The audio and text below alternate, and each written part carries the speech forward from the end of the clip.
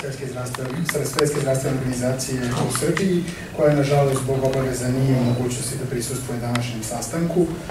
Na početku hvala i asocijaciji Sport za sve na pozivu da učestvujemo na ovom jednom ovakvom skupu i u ime Svetske zdravstvene organizacije još jednom istaknemo važnost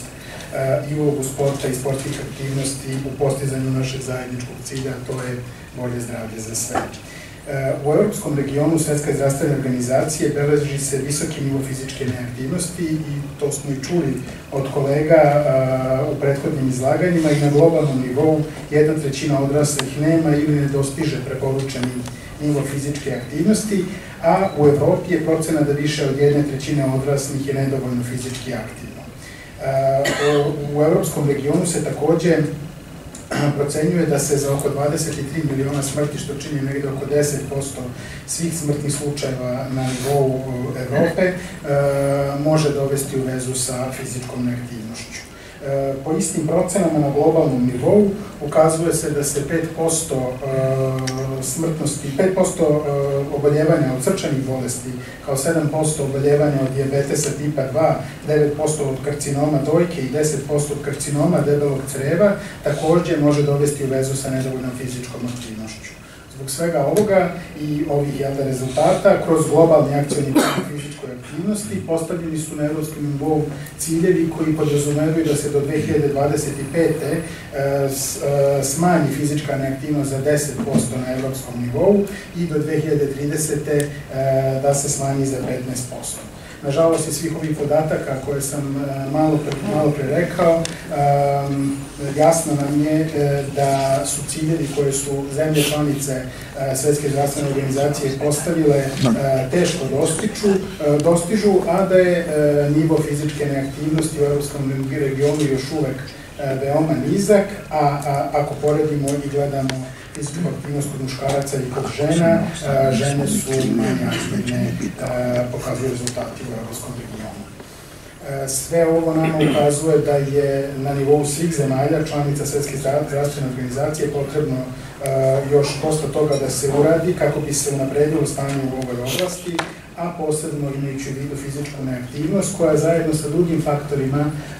rizika kao što su nezdrava ishrana, pušenje i konzumiranje alkohola, čini, čini jednog od, ključnog, jednog od ključnih faktora rizika za nastanak hroničnih nezaraznih bolesti koje najviše opterećuju savremeno društvo. Ono što je Svetska zdravstvena organizacija radila na regionu Evrope i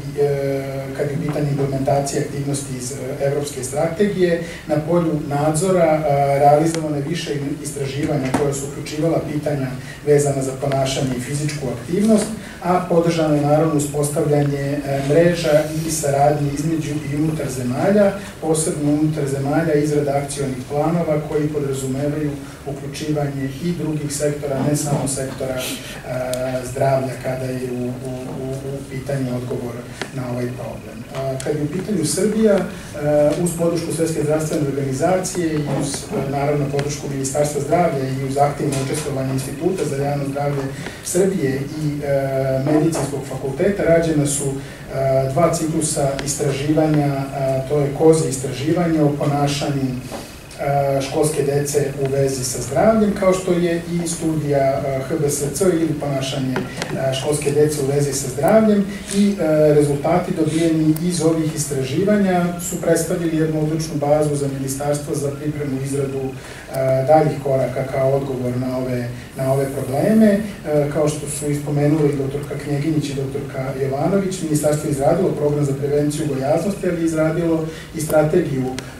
javnog zdravlja koja u svojim aktivnostima prepoznaje važnost rada na prevenciji hroničnih nezaraznih bolesti i prevenciji faktora rizika, a u ovom slučaju naravno tu je uključena i fizička neaktivnost kao jedan od rizika. kada pričamo iz ugla Svetske zdravstvene organizacije, na nacionalnim nivoima e, potrebna je akcija u različitim sektorima kako bi se predstavile ključne strategije za povećanje fizičke aktivnosti u različitim okruženjima, kao i aktivnije uključivanje ostalih sektora u zajednički rad, jer ističem e, nije samo e, problem zdravstvenog sektora, ovaj problem o kome pričamo, pored nacionalnog nivoa, tu su i lokalne vlasti koje moraju takođe e, e,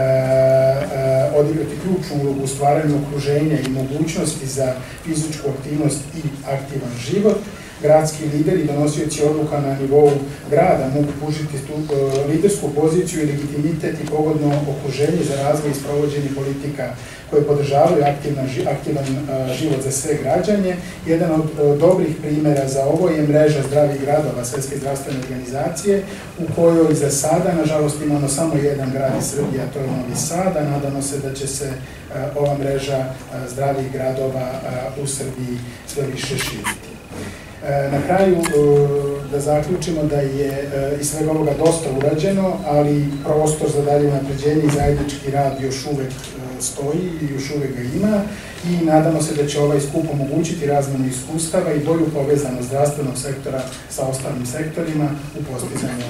zajedničkog cilja. Hvala vam na vašem.